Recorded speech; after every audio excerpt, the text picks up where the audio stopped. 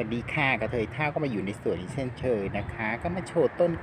กะเพราขาวนะคะกะเพราก็มีสองสีนะคะ มีกะเพราขาว อันนี้กะเพราแดงนี่นี่นี่นี่นี่มีมีหลายกอเนาะอืมคิดอะไรบอกไม่ถูกก็กินกะเพราผัดกะเพรานี่แหละค่ะ สมุนไพรชั้นดีอย่างหนึ่งต้านอนุมูลอิสระ ประโยชน์มากมาย ง่ายสุดก็คือ กระเพรากะเพรานะจ๊ะกินกันเข้าไป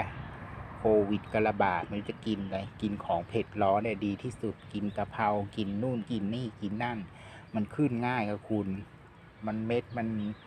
ปลิวไปทางไหนมันก็ขึ้นทางนั้นแหละค่ะ ก็ไม่มีอะไรมากมายนะจ๊ะก็มาโชว์แค่นี้นะจ๊ะสวัสดีจ้ะ